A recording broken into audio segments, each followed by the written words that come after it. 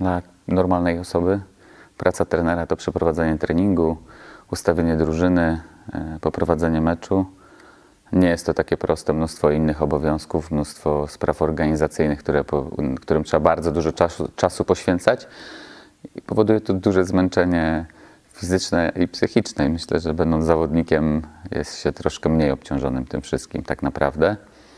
Na pewno duże podekscytowanie. To powiem tak, pewnie to takie będzie wyświechtane i sloganowe, ale chciałbym, żebyśmy poprawili jakieś elementy, w których wiem jakie. Chciałbym, żebyśmy poprawili w każdym kolejnym meczu.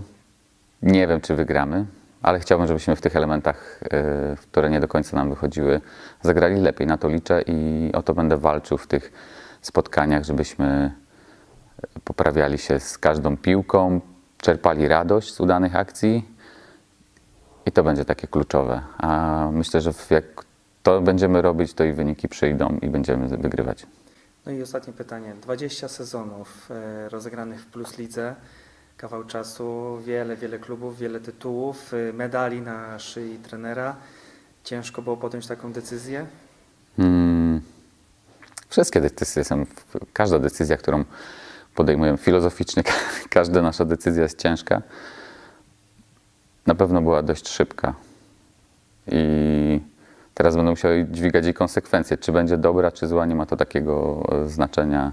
Na pewno będę musiał się z nią mierzyć codziennie teraz.